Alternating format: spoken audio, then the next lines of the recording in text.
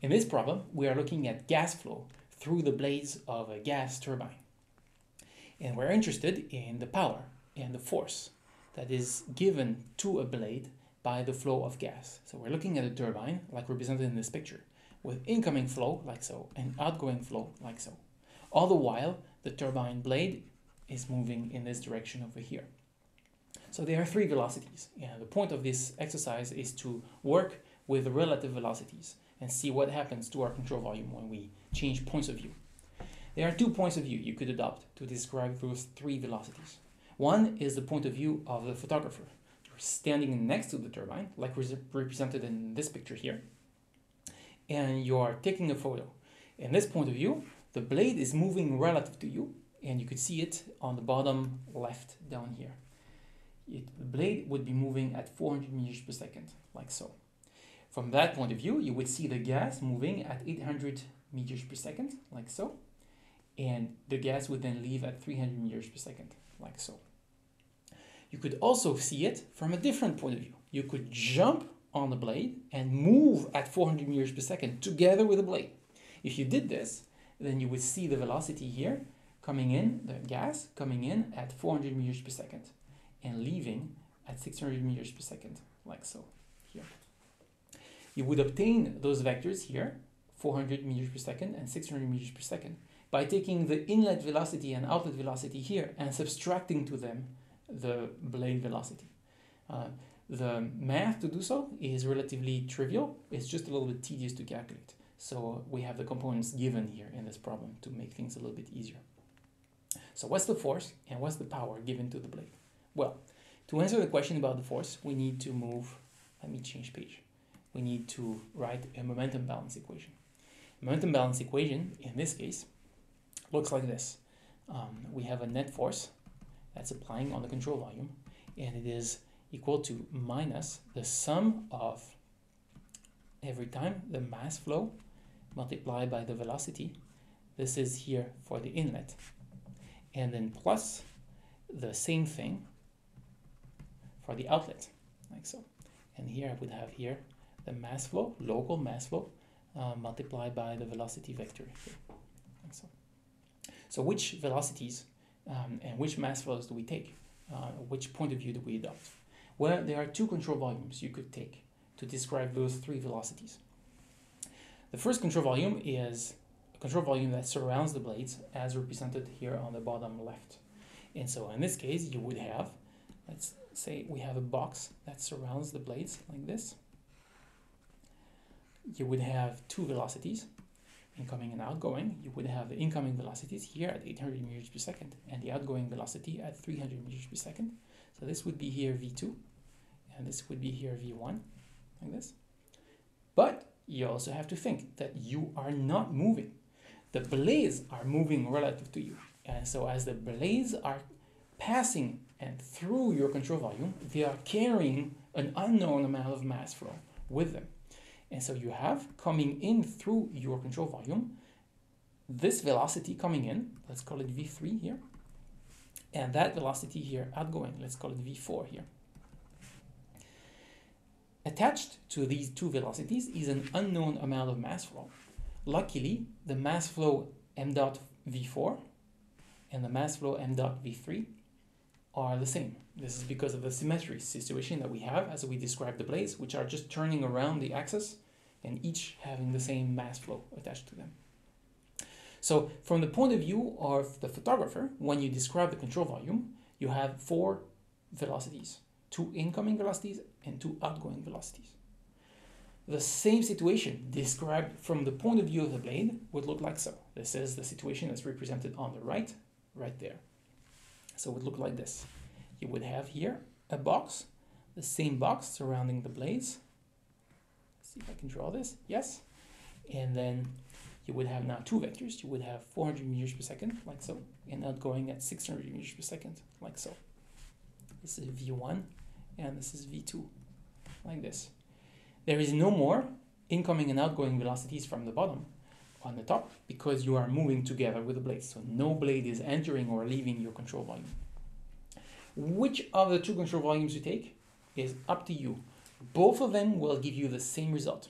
However, my tip is to always attach your control volume to the object that is moving because this makes the visualization of flows much easier.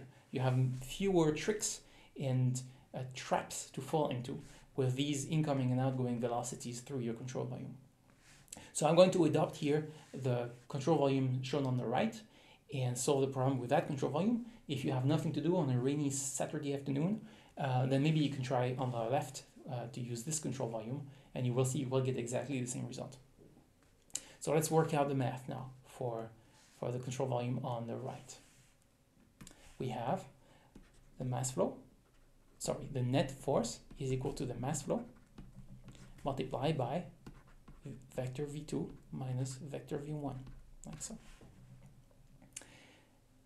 Each of those vectors has two components, so we could write this as m dot multiplied by v2x minus v1x, and then v2y minus v1y, like so. Which numbers do we put into this? Well, we know that the mass flow is 1.7 kilogram per second. And then we now have to work out the components of velocity. V2x is the x component of that velocity here. And so I have to take the 623 meters per second and squish them down with an angle of 63.4 degrees. And so I take here 623, 623.8, and I put then the cosine of the angle 63.4 degrees, like so. This is v2x. To this, I subtract v1x, and v1x would be the x component of that velocity, 400 squished down with an angle of 37.6. So this is now 453.8 times the cos of 37.6 degrees. On the y component, then we take now this v2y here, this would be a negative number, minus 623. This is here, minus 623.8 times um, the sine of the same angle, 63.4 degree, minus here in the y direction, positive y direction, 453.8 times the sine of 37.6 degrees, like so. And if you work out the math, this should give you here, and now this would give you um, a final result of minus 136.7 and this would be the in newtons. This is our net force.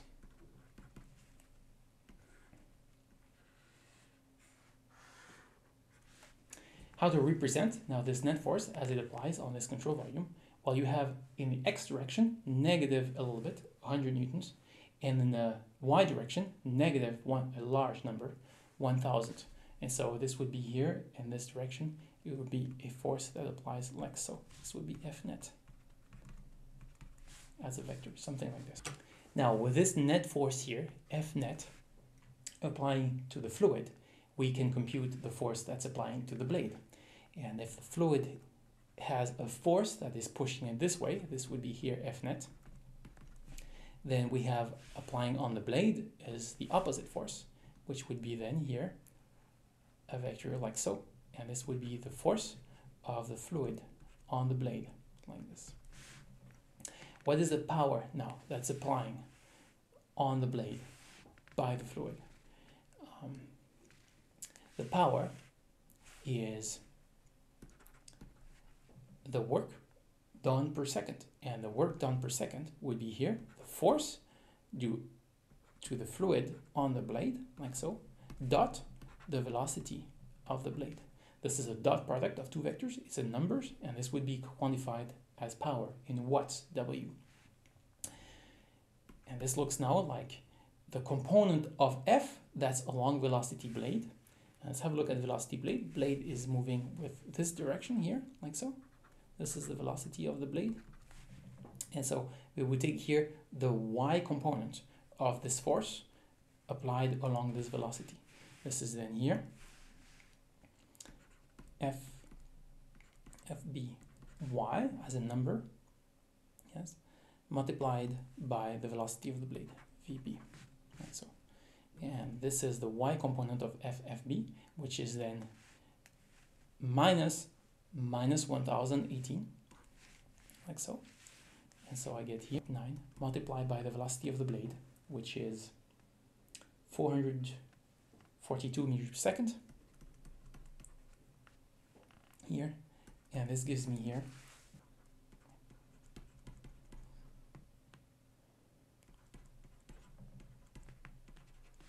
six times six times ten to the power five watts, which computes as six hundred and twenty-seven point seven kilowatts. This is the power given to a single blade. How big is this? Well, um, a lot. 600 kilowatts. This is probably around something like 500 horsepower. This is the power of a very powerful truck. And this is the power given to the by the flow to a blade that's about this big you could hold in your hand. And so blades, turbine blades, are extremely powerful. Some of that power will have to be given back to the compressor, um, but some of that power is extracted through the shaft and given out to the machine. Turbine engines are generally extremely powerful. So this is how you use the momentum balance equation um, to use to compute force and power when things are moving.